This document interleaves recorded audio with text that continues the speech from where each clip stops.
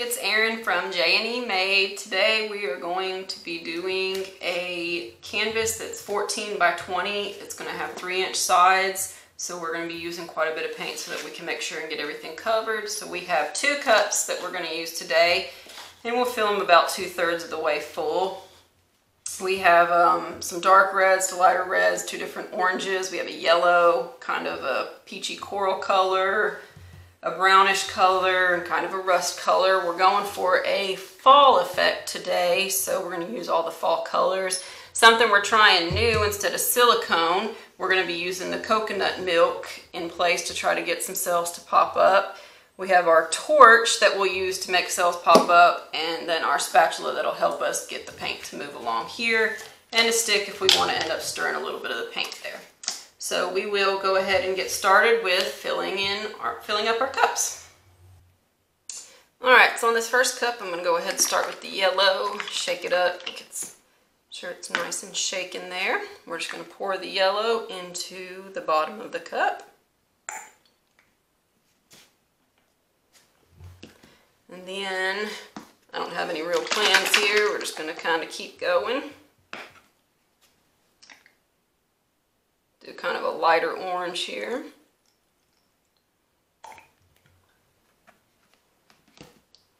I'm going to do a dark red.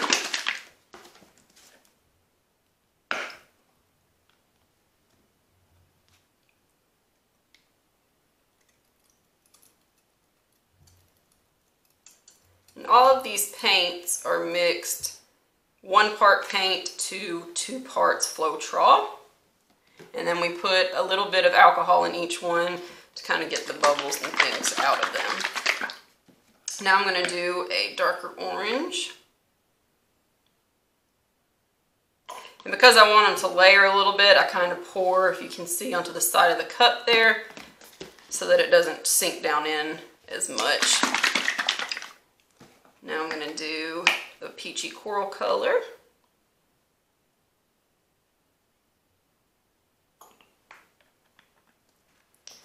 We'll do a little bit of a lighter red.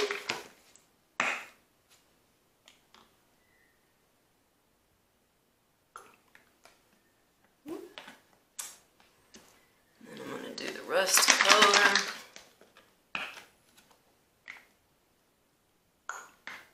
A little bit in the tan.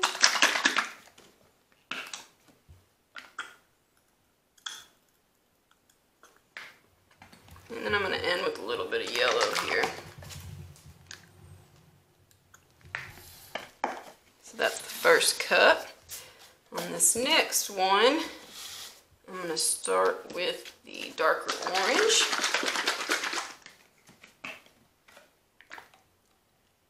Just pour it into the bottom there. Then I'm going to go to yellow. Again, I'm pouring off the side of the cup so that they'll layer. Then I'm going to do this rust color.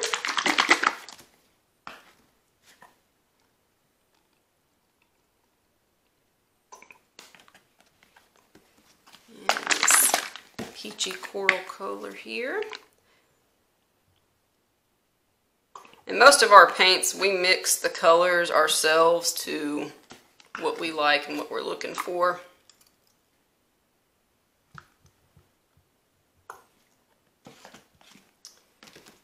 Get the lighter orange.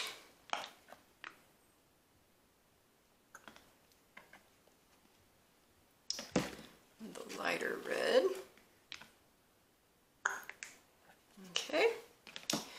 Then we're going to go ahead and put a little bit of the coconut milk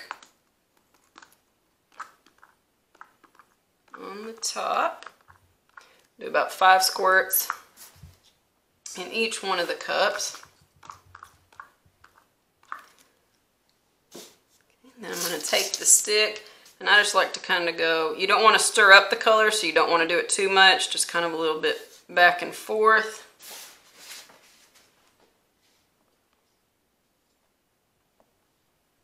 Just seems to get some cool effects in some of the paintings that we've done. Alright, so we're going to take this first cup And you want to try to keep as much paint into the cup when you flip it. There will be a little bit of splatter, but you don't want it all to come out. So you try to do it as quick as possible. And you kind of tap the top. I always push down on the cup a little bit. It seems to help make it stay there. So while that one is settling, I'll go ahead and flip this one. Same thing.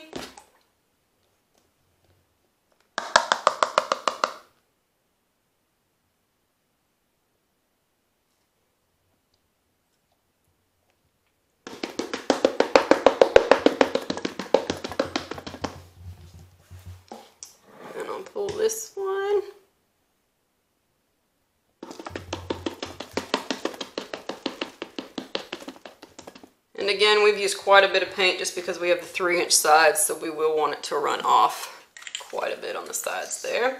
Now I'm gonna use the torch and just go over the paint and you can see some of the cells popping up all over.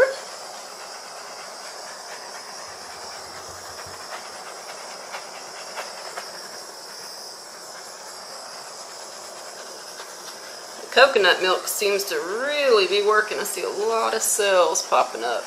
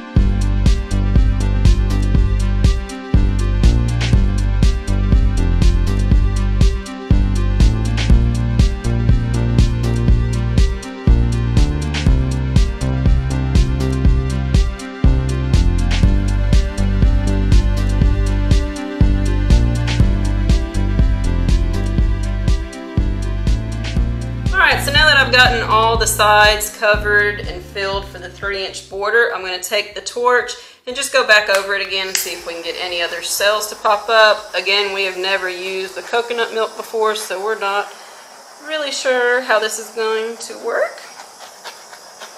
But I do feel that a lot more cells popped up with the coconut milk than the silicone.